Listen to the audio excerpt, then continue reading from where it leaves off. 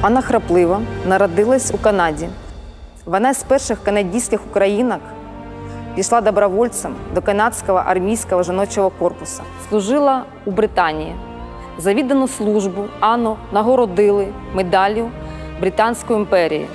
Вручення відбувалося в Букінгемському палаці.